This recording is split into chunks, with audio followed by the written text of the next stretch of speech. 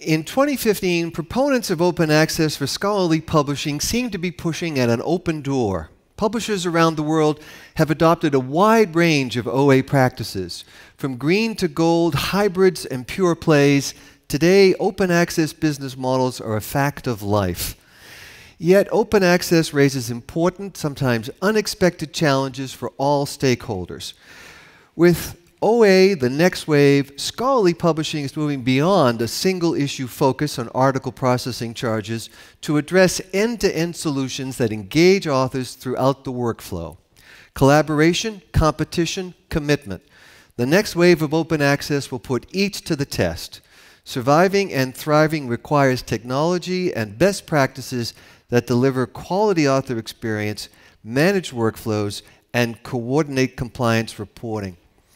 Good morning and welcome again to the Frankfurt Book Fair and Copyright Clearance Center's town meeting, our third annual such event that brings authors, funders, institutions, and publishers together for a lively, informative, and open exchange, appropriately for a discussion on open access.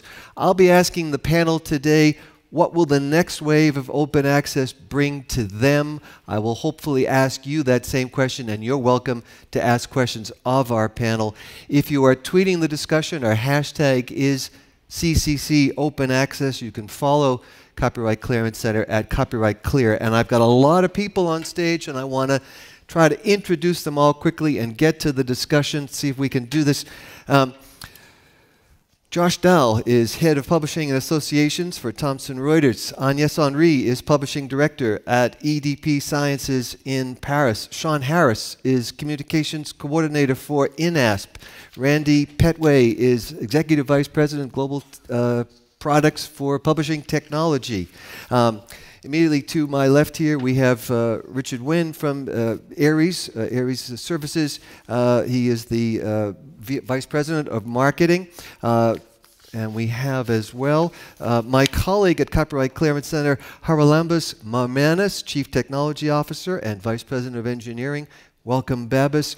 And then towards the end there, we have Helen Sun. Helen, welcome, who is Chief Executive Officer of the Beijing Ingenta Digital Publishing Technology Limited Company. She founded that in 2011 in Beijing as a joint venture with the UK based Publishing Technology PLC.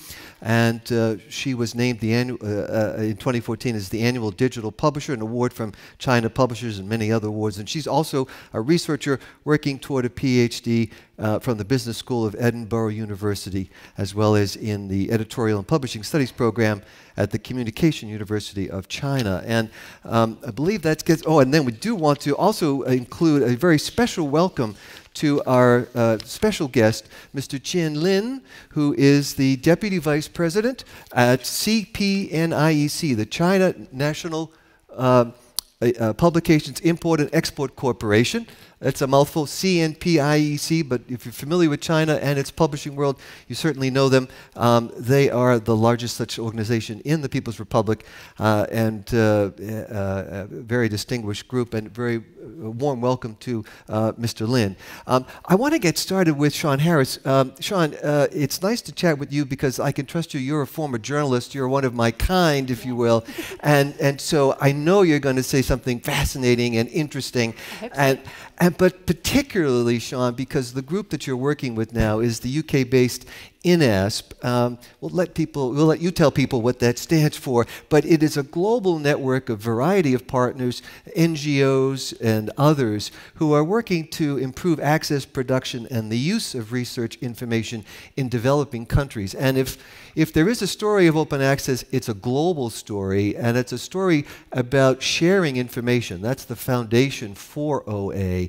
Um, how, how is INASP working with perhaps some of the people on this stage and the people in the audience to ensure that that transmission of knowledge isn't simply one way from the north to the south, but also two way? Tell us briefly about that. So, thank you for that. Actually, I could answer with basically all this all this time. There's there's lots to say, but um, something I I feel passionate about is that I think sometimes in conversations in scholarly publishing, we we sort of say, oh yeah, everyone in scholarly publishing is in the room, and and actually it's only people from Europe or no North America there, and it is a global um, you know, research is global. There's researchers everywhere, um, and we have the privilege of working with some some wonderful researchers in many parts of um, of the world, uh, particularly in sub-Saharan Africa, South Asia, and Latin America.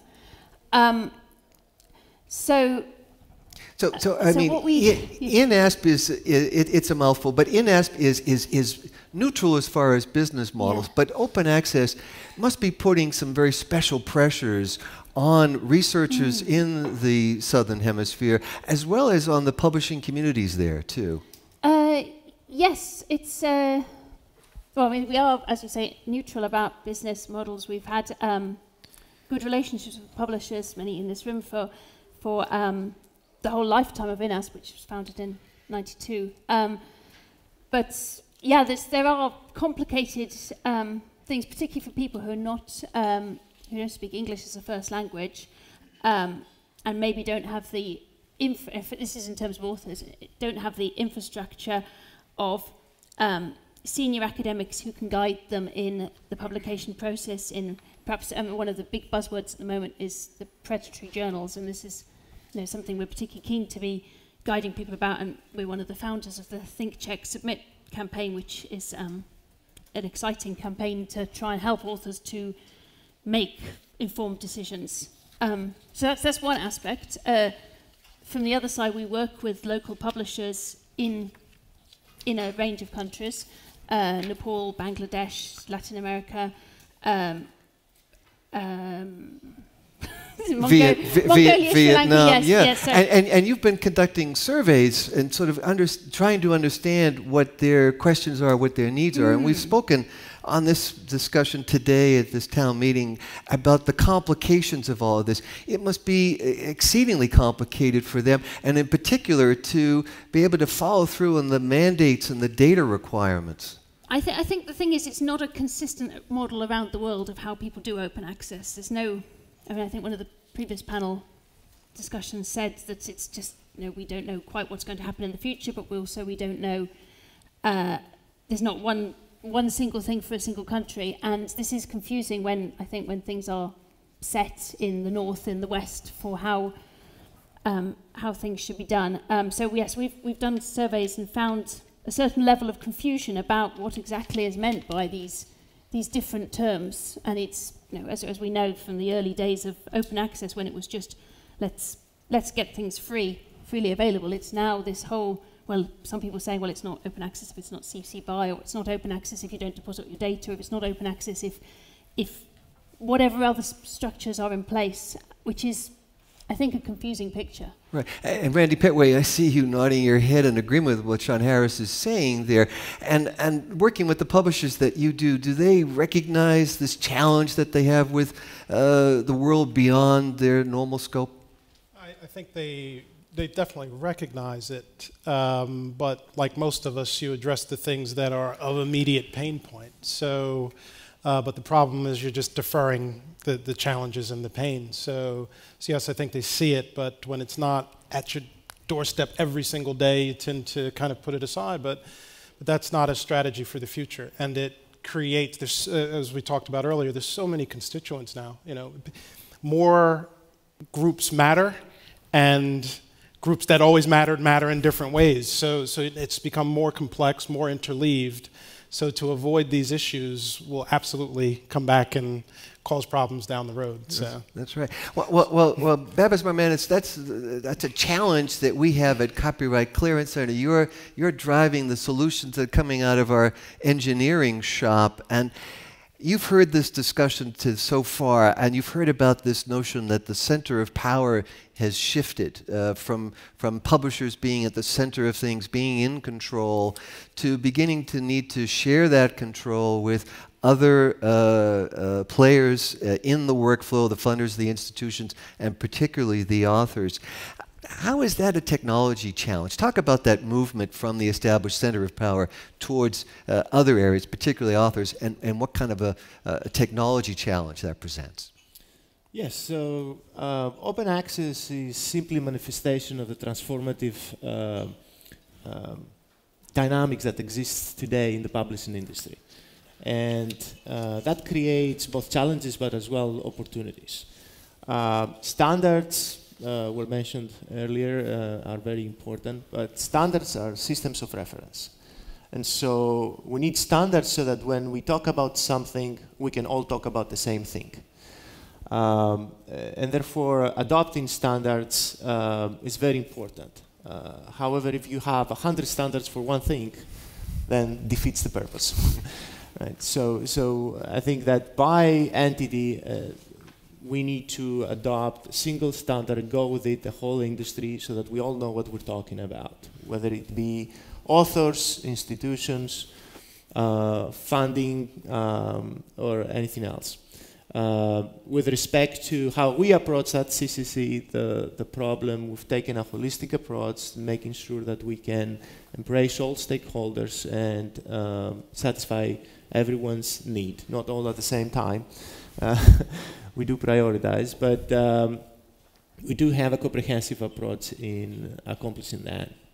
And, and, and that holistic approach, as you call it, where all things are one in a way, is going to get, uh, it, it's, there's a drive, as we heard, towards simplifying things. But before we get there, it's going to get more complicated because we're going to see new technologies, um, new services, and, and so really starting on the right foot becomes critical. Yes, that's, that's correct. Um, and right now, in order to accommodate the plethora of uh, licensing types, business models, um, and even the uh, complexity of a diverse uh, ecosystem um, is uh, quite challenging uh, if that's not what you do for a living. Um, and that's what these are. This is the reason that uh, copyright clearance is um, providing a solution to the market that can address uh, a lot of these complexities without the burden on the publisher side, uh, and frankly, with ease of use from the from the author side. Right. In our last discussion, Richard Wynne, we were talking at the end about return on investment and, and recognizing that what's being asked of publishers is frankly a great deal. There's a lot that they need to do now they didn't have to do before. In the old subscription world, you sold a subscription that was done at the end at the end of the year, you renewed the subscription. I'm simplifying, I know for anyone in the audience, but that's how it was. And today we have a much more complicated world, multiple authors, various uh, uh, players in the marketplace. Talk about the, the, the, drive to ROI and, and, and how publishers are seeking a competitive advantage as well. Yeah, I think things are definitely changing. I was talking to one of the first and largest open access publishers, um, and they were telling me that their growth rate had gone down from 50% to a much lower rate. And uh, they were not associated with any large publisher, and they attributed that to the fact that the traditional publishers had really ramped up their open access uh, initiatives. And I think um, what you're seeing is definitely a maturing now with open access, and it may even go on pause for a few years while the funders work out what, what's going on um, before it goes through, through further volume uh, growth. Um, but you know, data-driven models is, is the key. So our integration with RightsLink, for example, it's all driven off of standards so that publishers can modify business models with a, a, a very, in an agile manner. And so uh, that agility to, to change is key. Right, a- agility and and uh, well, it sounds like Boy Scouts here, but cleanliness. It's all about making sure that the information that's being transmitted, because there's so many people that need to receive it, it has to be clean. That data has to be in the best shape it can be, to speaking as a non-data person. Yeah, be prepared, you know. Right, uh, exactly. Um, yeah, no, I was talking with Josh in, in the break, and uh, we're both noticing that publishers are this close to requiring ORCID for manuscript submission. And that initially will probably be just for the contributing author, but also you've got all of the uh, co-authors. So I think, I think publishers are now seeing the value of uh, good hygiene, as you call it. Indeed. Uh, Helen Sun from, from Beijing Ingenta, um, you see things from the perspective of Beijing where there have been a variety of mandates issued by the Chinese government sort of supporting open access models. Um, and yet in the Chinese environment, the researchers, um, they have their native, their domestic publishing world, but they also look out at the world beyond that and look to be published in uh, all the journals that we would recognize. Talk about how that all works out, how, how, how the Chinese publishing world is resolving that to develop its own products, but also to work with and to submit and find their work published in other around the world. Okay, uh, because my um, I work as a professor as well as working as a, a third-party supplier to the whole industry as a technical supplier, and I think over the past years, um, the Chinese academics are trying to submit to international journals because we got the points for everything we submit, and if you submit to a journal SCI or SSCI listed, then you got more points than if you submit to a Chinese journal. So obviously for academia it to make all worthwhile to submit, try to submit to more international journals. Um, but on the other hand, uh, Chinese governments are investing heavily into this um, digital transmission of the industry. They don't really have a special sponsorship for open access, but then overall we have 5 billion RMB, which is 500 million pounds every year as a sponsorship from the government into the cultural industry. Uh, and most of the projects they sponsored are related to digital content. And uh, for example, two projects we have been working on over the past year. Uh, a, one is the journal platform for China Science Journal Publishing House, which is the largest science publisher in China. And the other one is we work for uh, a China Asian Chinese kind of collection platform. And all of them are open access kind of uh, business. So, so I, I can't say that particularly they will do something about open access, but as a whole, the whole country is quite investing heavily onto the whole digitization and all the new models that could be provided. Right. Well, that seems to make sense because we were spoken about. We need to look at the past, look ahead, Yes. and think about what we're going to add. And so, by creating these platforms that have uh, an openness to open access, Yes. uh, is a wise move. It Yes. seems. Yeah. Well, yes, I, I think, uh, you know, if we look ahead, then the market is big, and we built the largest uh, publication import and export platform for CNPIEC. so Mr. Ling is my um, uh, key customer. And uh, as we said during our previous conversation, I think to cover such a big country, you do need to have a partner who have a big coverage because China is no any smaller than America, and it's new. It's all new. There's nothing which you know many people know about. So, so I think a partner is important, and that's why I strongly recommend Mr. Lin to come to this session because uh, if you, everybody is interested, he can talk about CNPIEC and, and, and, and they have been working with more than 10,000 libraries in China and uh, that's the main users for open access research content. Right. So, well, well th- that really is the challenge of Yes. this global environment we have. There's so many uh, journals to work with, so many different platforms, Yes. and we've been hearing about the need for standards. And Yeah. and I guess Agnès Henri, um, for you at EDP.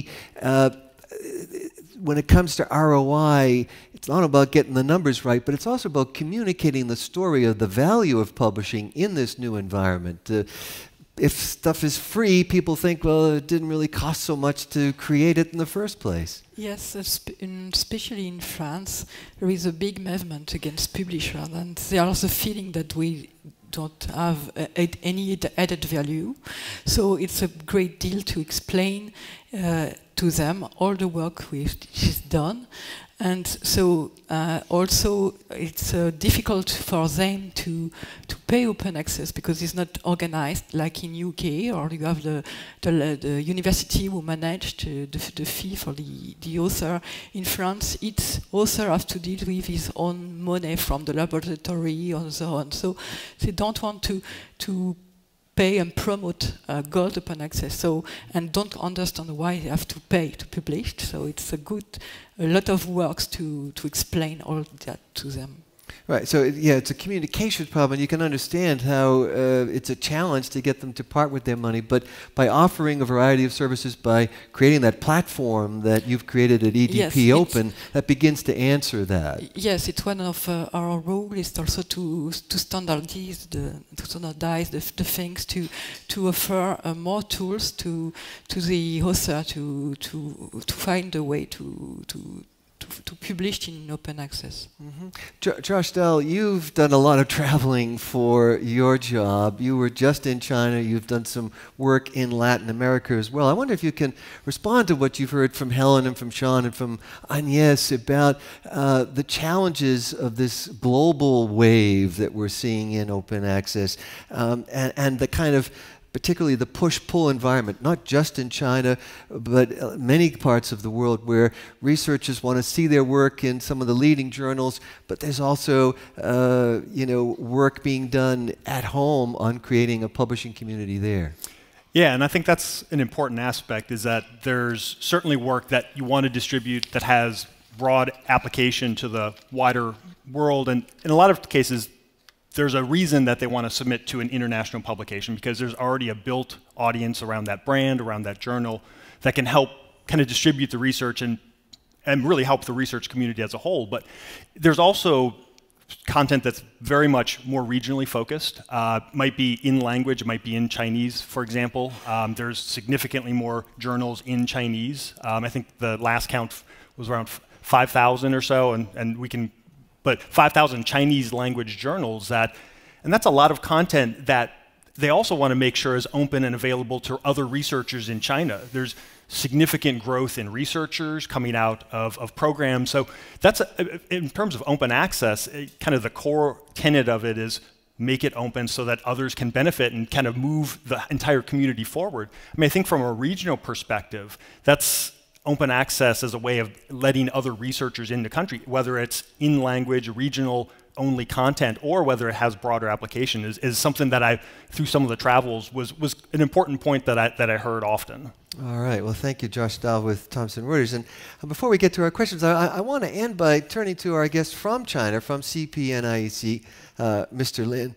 Excuse me, and, and ask you. You've had a chance to hear our discussions today, and to perhaps reflect upon what's going to need to be done in China. And I'm curious about the Chinese language journals and the potential there, the platforms that you've worked with Helen on to create. What, what are the hopes that the Chinese publishing world has for the Chinese language journals, as well as for the others that you are creating?